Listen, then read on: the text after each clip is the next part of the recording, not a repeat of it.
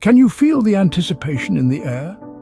Are you ready for the exhilarating spectacle that is the ICC Men's Cricket World Cup 2027? It's that time again when the cricketing nations of the world will clash in a battle of skill, strategy and sheer determination. This is no ordinary tournament. It's a global celebration of cricket, an event that gathers the best of the best representing nations far and wide. The World Cup is a stage where legends are made and dreams are either realised or shattered. This is the essence of the ICC Men's Cricket World Cup 2027 and today we'll delve into what's in store for us. Firstly, it's important to acknowledge that cricket's market has traditionally been concentrated in a few countries, with powerhouses like India, Australia and England dominating on and off the field.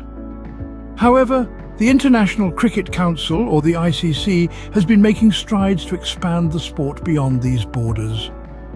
In the upcoming World Cup, the ICC aims to strike a balance between accommodating more teams and ensuring the participation of top-performing nations. This delicate balancing act is crucial in the pursuit of the sport's global reach.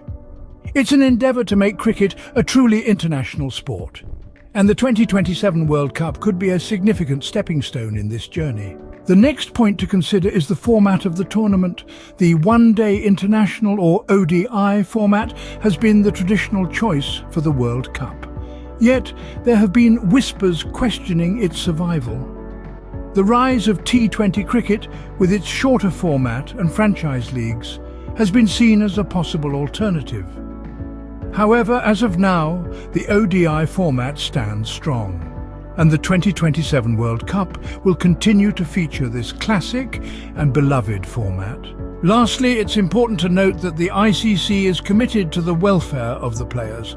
With the number of international matches increasing significantly in the next four years, it's a challenge to ensure the players' well-being. Yet the ICC reassures that player welfare is a priority ensuring that the spectacle we enjoy does not come at the cost of the player's health. So, what does all this mean for the ICC Men's Cricket World Cup 2027? Well, it promises to be a tournament of growth, a tournament of balance, and most importantly, a tournament of thrilling cricket. It's about expanding the horizons of cricket while preserving the essence of the sport. It's about accommodating new talent while celebrating the legends. It's about cricket in all its glory and grandeur. In conclusion, the ICC Men's Cricket World Cup 2027 is not just another tournament. It's a pivotal event in the history of cricket.